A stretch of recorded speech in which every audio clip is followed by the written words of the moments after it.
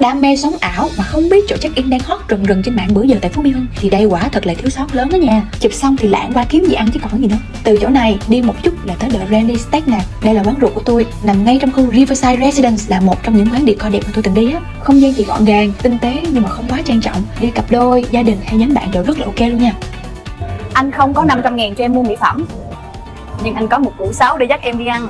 Ê, tôi coi tất tốc tôi cố vô cái viết là tôi bị sờ lơ ngang với bà. Xét một củ sáu nhưng mà giá gốc tận 2090 cành Giảm gần 500 cành khi mua tại hot deal Thì tự nhiên thấy cũng hợp lý đi. Menu sơ sơ thì có trứng cá tầm black angel repair Nhìn là mê liền. Xét thì có kèm hai nước tự chọn. Đừng nghĩ nhà hàng steak thì bán mỗi đồ ăn thôi nha. Quầy bar ở đây hơi bị xịn. Bartender ở đây thì cũng ngầu, cũng chất, cũng keo đồ đó. Rồi, cũng ly cái đầu vào việc hen Đầu tiên thì mình sẽ khai vị với bánh mì ngũ cốc nguyên cám và xào điệp áp chảo trứng cá tầm. Xào điệp thì vừa chín tới, tươi, ngọt, giòn, không có bị dai. Còn trứng cá tầm thì đây là lần đầu tiên tôi ăn á Nên là Mình thấy trứng cá tàu rất là ngon. Nó có vị khá là béo Rất là thơm.